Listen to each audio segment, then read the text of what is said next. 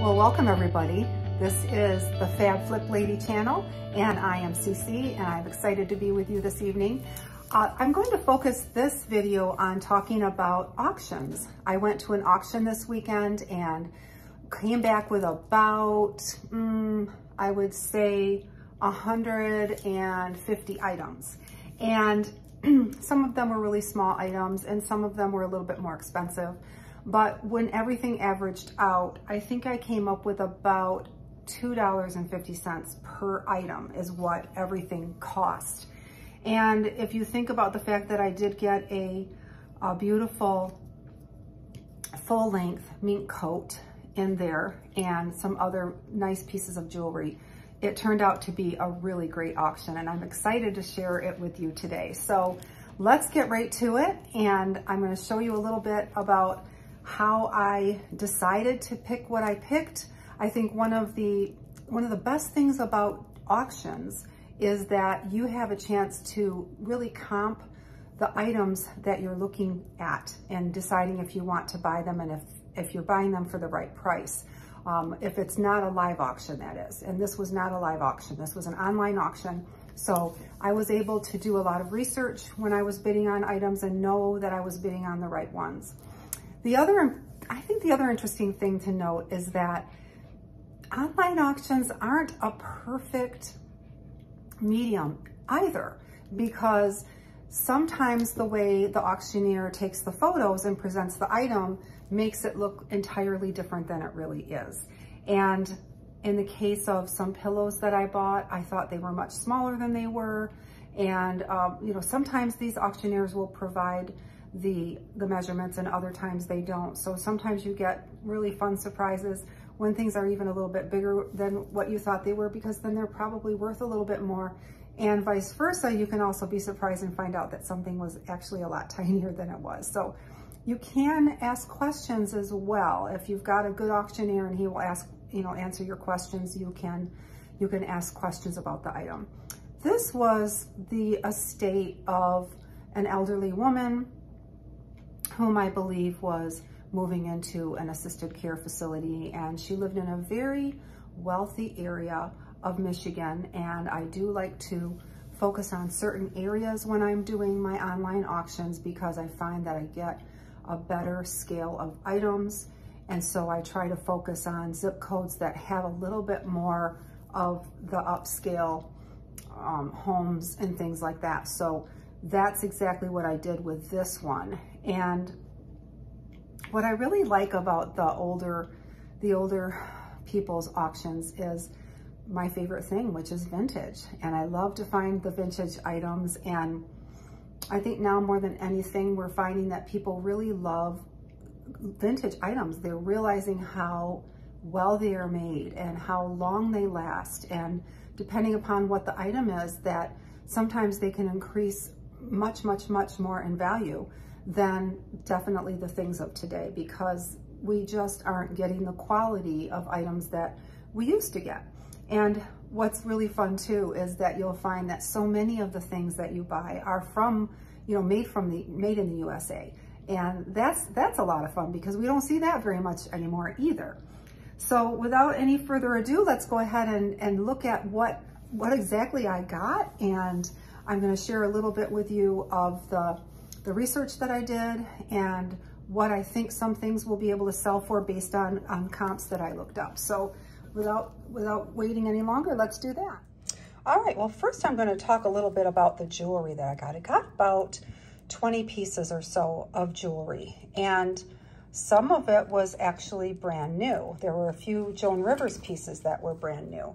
This set in particular was $6 and I looked it up and some of them have sold for as much as 90. Um, I think that Joan Rivers items are getting a little bit more popular because she has passed away and in my opinion, Joan Rivers really did a great job of designing some of her pieces. She had great taste and it showed in the items that she actually designed and, and sold on QVC most of the time. This was a little Bonetti watch and it's a cuff watch and oh, I just think it's adorable with, with the little stars and um, my husband has already put a battery in it so we know it works. So that'll be a lot of fun. And I think I can do about 30 on that. And I paid about $2. Then we have this sweet little, I think it is a, see if we can get it to focus. Mm, there it is. Hold on, I'm so sorry. Let's see. Aha. Coliseo watch, or Coliseo little clock. It's like a little desk clock. And this one also does work. This is a little pill case. Um, this was a watch brand I had never heard of before. Um, something like Mark, Martin, Martin Topaz. Not really familiar with that one. But there were a couple of really fun surprises in this grouping. This being one of them. These are Weiss rhinestone earrings, and they go for upwards of $100. One of the things I learned when I started doing thrifting is when you're looking at costume jewelry, always look at the back to see if it has a marking, a label, a brand, because typically when it is a vintage item and it has a brand name like this one does right here, it says Weiss, if you can see that, then you can look it up and most of the time they're worth more than those items that are not marked. Um, another sweet little set I thought was this one because it has, it's silver, but it has, it actually looks more gold, but it is silver and it has Aurora Borealis little crystals in it. And I think it's, they're darling little flowers. They are not marked. And actually the only other piece of earrings in here that were marked are, wait, I think it was these that were marked actually.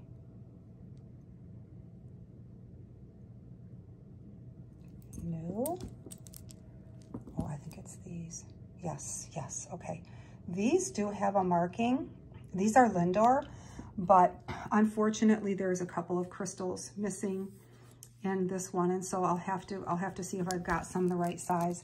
Also a beautiful crystal rhinestone brooch that is definitely vintage. And so I'll be looking at that to see what I can do with that. This was a really fun surprise. This is actually a Millefiori um, blown glass necklace, and it is actually from Italy. And what was what was really fun about it, besides the Millefiori, which is very popular, is the fact that it's also marked 925 and Italy on the back. So that's going to be a fun piece. I don't think that this was ever worn. I think that they brought it back on a trip and it's called Bella Luna. It came from Venice, Italy. Um, just a couple of little pieces of costume jewelry in here. This one is probably the other noteworthy one that I thought was, was really nice because these do have a really beautiful shimmer and sheen to them, kind of like a moonstone would have. Again, they're not marked, but they are really pretty earrings and I definitely think that I can I can sell them and do really well with those. The other piece that was really nice is this is a Joan Rivers watch. And again, never has been worn, was still in the box, still had the wrapping paper on it. It does work, so that makes it fun. And so really, when I figured out all of my jewelry purchases, what I found was that I spent about $50 on the jewelry. And so they ended up being about $2.50 each. And um, I know that I will do far better than $50 by the time I am done selling these items. So that was pretty exciting. I know that I did okay on that. And that's really the bottom line when we're, when we're going to an auction, isn't it?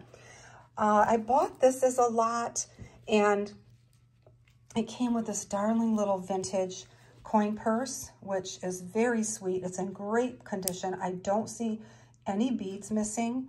And I'm, I don't know the decade, but I'm thinking maybe 30s, 40s, okay? And then this is something that I learned from the Nurse Flipper. She is one of my very favorite YouTube channels to watch when it comes to, you know, learning about reselling and thrifting.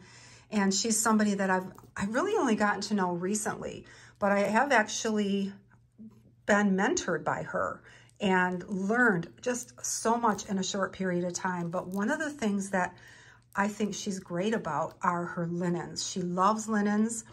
And I learned from her that these little handkerchiefs that are embroidered so beautifully like this by hand really have a value. Most people looking at these at a sale would pass them by thinking they're, you know, they're marked 50 cents, they're marked, you know, a dollar, that they're not worth anything. But actually, if you go online and you look at what the Nurse Flipper is selling hers for, she can sell hers for one piece for upwards of $20, $20, $28. Something like this one is it's embroidered, but it's not quite as valuable because it's all one color.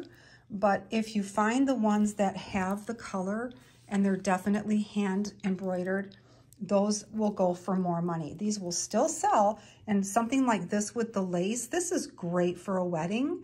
You can use the keyword wedding handkerchief and, and sell it that way. Um, also, this one is really nice because it has the letter R and it has a lot of embroidery and also has some appliques. As you can see, the appliques are, are absolutely lovely. So this has an R and I will iron these before I list them. Some very cute little daisies. And here's another R. It's backwards right now, but it is an R. And again, some kind of nondescript white ones, but there are a few really beautiful. This one I think is just sweet as can be. And I, I only saw maybe one or two spots on all of these. So these will do really, really well. And I only spent $3 on this entire batch of of um, handkerchiefs. Then we get to the linens, and the linens are really special because they are, one is actually a round tablecloth, and it has a lot of um, embroidery and lace and cutouts, and this is a round one. And then I think it's like 35 inches. And then there's this, which is a table runner, has crocheting to it. So that also makes it valuable. So I, I did some looking around and I honestly think that I would be able to do about 40 for the, the two linen items and not going to be hard to sell them for $40 at all. So that was fun. Then we come to a few, few kind of interesting odds and ends. This came in, in a, a grouping basically of these plates and this candle and this little bear and this little key ring and that little vase. And all of those together were $3, okay? Now, these I'm probably going to keep. These are more modern, but I actually, at my lake home, I decorate outside quite a bit. So I have a tree that I like to hang things like this from. So I'll be using that for that and, and this as well. This is actually an amulet from the Peru World's Fair. I did not have any time to see if this had any value, but it's from the Peru, Peru World's Fair in 1982, I believe.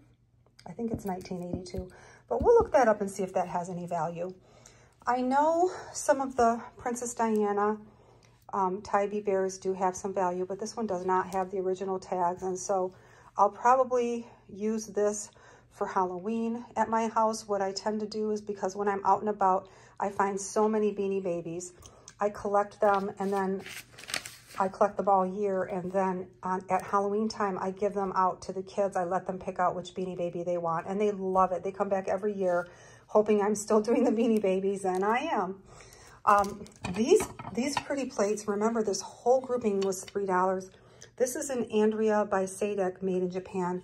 Gorgeous, gorgeous plate. I believe I can do 20 to 30 on that. And, and this one as well is also Japan, 20 to 30. It does have a marking of a T, and I have not had a chance to look up the T to find out what that is, but going to be listed in the next couple of days, and so we'll be able to see that. This plate I absolutely loved because I love the little butterflies on it. Um, all three of them are just are lovely. with, with the gold edging. And most importantly, they have no chips and they are definitely something that's probably been put away for a long time and never used. So that, that really makes them easy to sell because you don't have to talk about any defects. Here's another brand. I'm familiar with this brand. I actually have a little bunny rabbit cotton dispenser made by Toyo of Japan. And this is a pretty little vase. And so I will, I'll definitely put that on. I'm hoping for 15 to 20.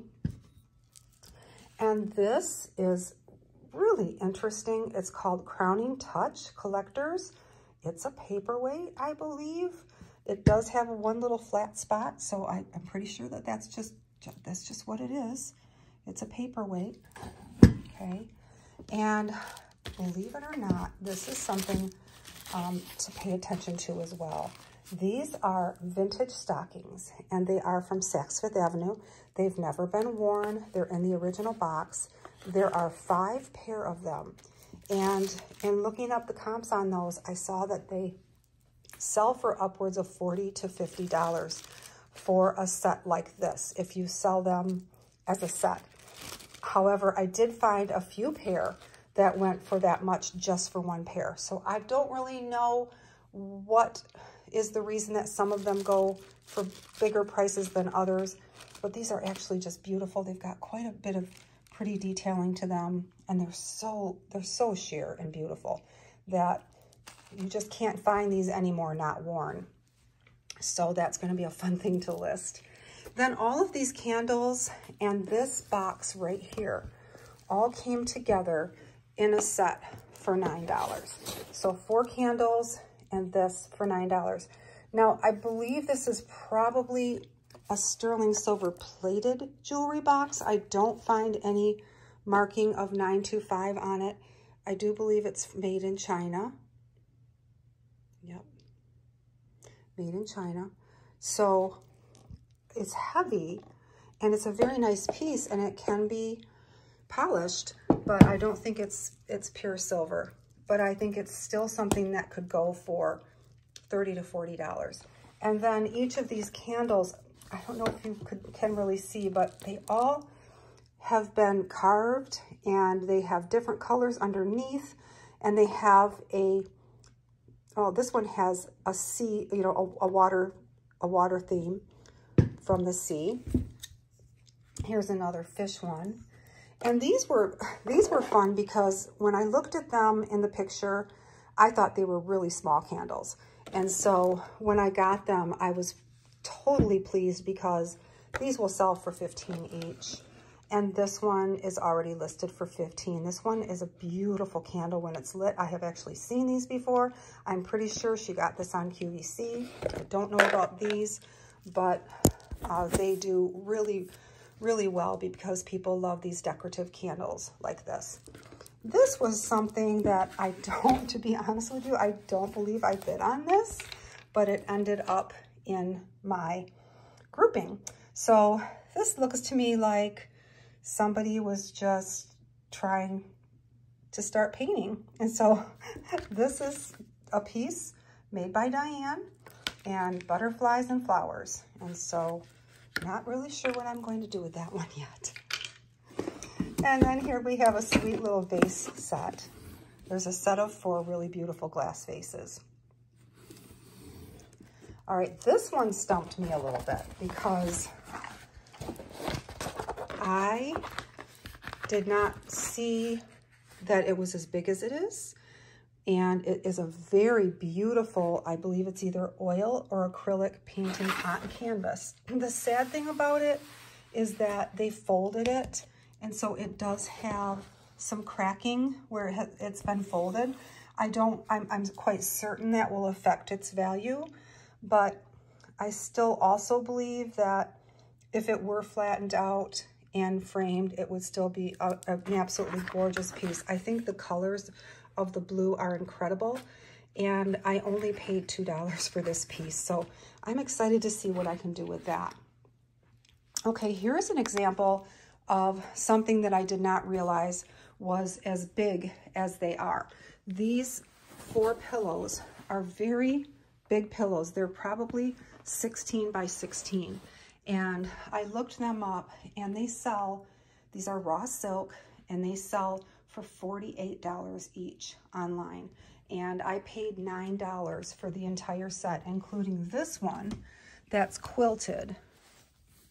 Okay, so this one is not as impressive as the four silk ones, but it's still pretty cute. And that brings us over to the clothing. So the first thing I want to talk about is this absolutely gorgeous Crystal Fox fur collar wool coat. The brand of this coat is Madeline and I did the comps on this. It sells for about 125 to $175. This one is impeccable. It doesn't have any moth damage and it will go right into my cedar chest after I'm done listing it. But the collar is just so sumptuous and I, you know, for the anti-fur people out there, I apologize. I, I do come across fur items every once in a while that are vintage and I will purchase vintage fur items because I believe that since the animal has already been made into a fur collar, I just feel like it is disrespectful to throw it away and, and not get use out of it. So I do like to pass those on to people that do enjoy wearing those. Um, then we also have the clothing items, and this was a lot of fun. I did some kind of calculations on my clothes, and what I figured out in this auction is that the clothing came to a total of $218. There were 37 total pieces of clothing, and that is not including the the the um the individual handkerchiefs, but uh, not a lot of like really expensive brand names other than the Madeline. Um, but there were there's enough here that there's definitely some profit. This These are Berkey's slides. They have never been used and they can go to, for 40 to 50, okay? We've got some beautifully pearled vintage white gloves and I have bought and sold white gloves over and over and over again. People like to purchase them for plays and movies and sometimes brides like to wear them in the winter. So they are something that still goes. This was another surprise. I'm going to try to, to show this to you because it's so beautiful. This is a fringed shawl. It's called Must Haves by Doris Poozer. And it's gorgeous. What a great thing for a bride to wear if she's wearing ivory. And that's probably one of the keywords that I'm going to use for that. Um, these are a couple of visors. I don't think there's a lot of value here, but some people still like them. And this one is Las Vegas, so that makes it kind of fun. And then the t-shirts. Now the t-shirts, you might say, why did you bid on these? Cece, what is the big deal? But they are really interesting. I liked so many of them that I just decided to go for it because we've got Barbados. These, these are places that she obviously traveled and she brought a t-shirt home and with the exception of one or two, all of them are brand new and some of them still have the tags. Like this one has a tag for $18.95. Um, this one, the secret of my success is that I keep the score. That's a golf shirt. This one is Carmel by the Sea. Then we have this beautiful Puerto Rico fish t-shirt, which was so pretty. And I lived in Puerto Rico for a while, so that kind of had some meaning for me.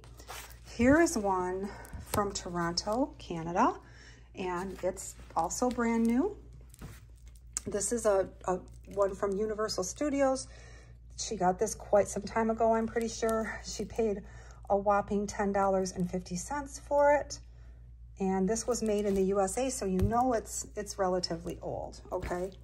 Same here, Daytona Beach, made in the USA. I'm pretty sure most of these T-shirts were made in the USA. Um, so they're all old. They are not they are they are not from recent trips. Here is one. She might have worn this one. It's 50-50 and made in Jamaica, okay? And then this darling Hawaii one. This is a cat with a grass skirt and a lei and um, made in the USA brand new, never been worn. Here's one. This one is also made in the USA, and this one's really sweet. This is from Sun. Oh, it just says Sun Lover, I guess. This is the Trade Winds of the South Sea, and this is a Hard Rock Cafe Chicago. So those are the t-shirts, and I really think those are going to be fun to list and sell. Um, here are a couple, there are a couple of underwhelming items that came with the um, clothing. I bought a couple of new with tags um, auction, you know, auction lots, and I really wasn't sure of the brands because they didn't put the brands down, but this is, this is old. This is Angora wool and also cashmere goat. So this is a this is a red sweater. I think that one will do okay. This one is a little underwhelming. It's August silk, but it is new with tags. And this one I really liked because this is 100% silk. I think this is a men's small. So I will probably put it on as a women's medium or large. And with it being silk, I think that makes it really a wonderful piece, a wonderful vintage piece. And then we have, this is a Corette. This is a Corette extra large velour, new with tags. Years ago, it was $62, but um, it's it's brand new, and so I think that'll be that'll be good. I mean, they're not designer brands, but they are brands I think that will sell. Probably this one um, I will list only because even though it's city knits and it's not my favorite, it is black. And so that tends to be a little bit more desirable. Then we're gonna move into this area. And this was a faux fur coat by Terry Lewis. And it was $2. Now it does have some staining on here, but I'm pretty sure that is makeup.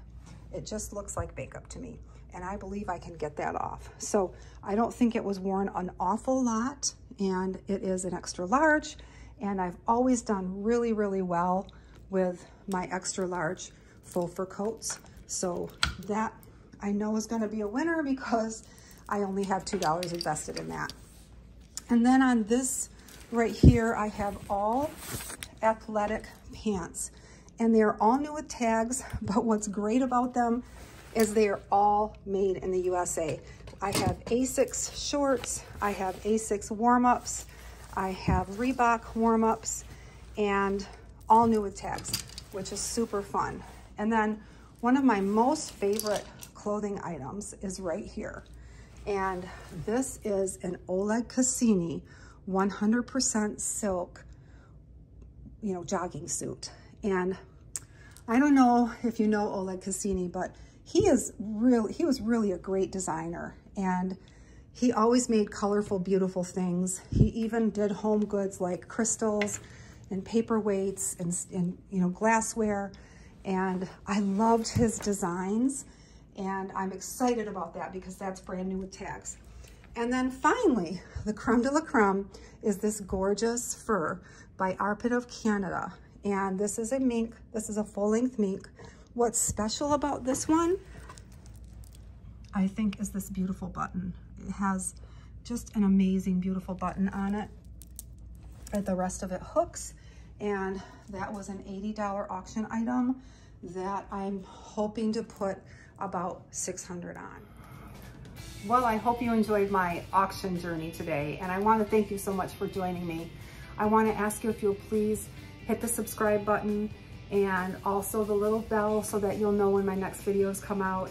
And if you liked my video, would you please like it? I am brand new at YouTube and I'm kind of excited about getting some feedback and finding out if this is something that people will enjoy my continuing to do. So thanks for joining me again today and make it a great day. In fact, make it a fabulous day.